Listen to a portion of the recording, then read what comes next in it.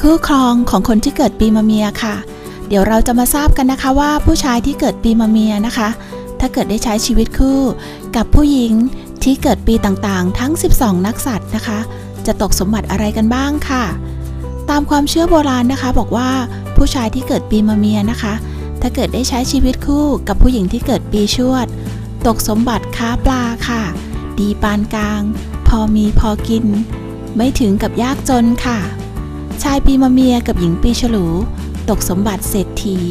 ดีมาก จะได้รับมรดกตกทอดจากพ่อแม่ค่ะ ชายปีมะเมียกับหญิงปีขาน ตกสมบัติเทวดา ดีมาก จะประกอบอาชีพอะไรก็ดี จะมีทรัพย์มากค่ะ ชายปีมะเมียกับหญิงปีเถาะ ตกสมบัติค้าวัว มีสู้ดี มักลำบาก ต้องไปหากินต่างถิ่น จึงจะตั้งตัวได้ค่ะ ชายปีมะเมียกับหญิงปีมะโรง ตกสมบัติหัวเมือง ดีจะมีเกียรติมีชื่อเสียง แต่ช่วงแรกมักจะลำบากก่อนจึงจะประสบความสำเร็จค่ะ ชายปีมะเมียกับหญิงปีมะเสง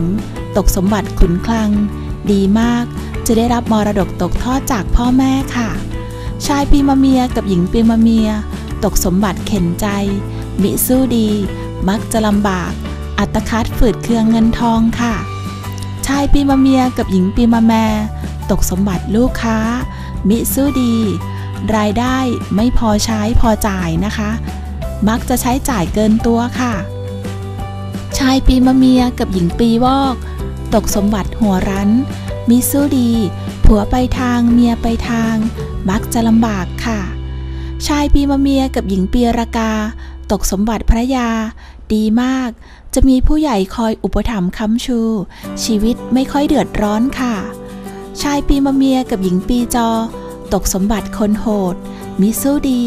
อัตคัดฝืดเคืองเงินทองค่ะ ชายปีมะเมียกับหญิงปีกุล ตกสมบัติราชคู ดีปานกลาง มีเกียรติ มีชื่อเสียง พอกินพอใช้ค่ะ ค่ะก็ได้ทราบกันแล้วนะคะว่า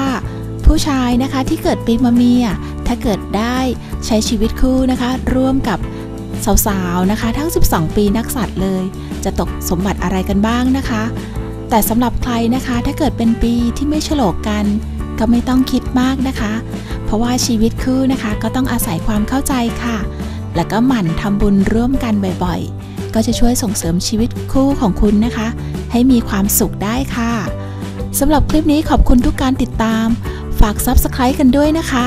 ขอบคุณค่ะ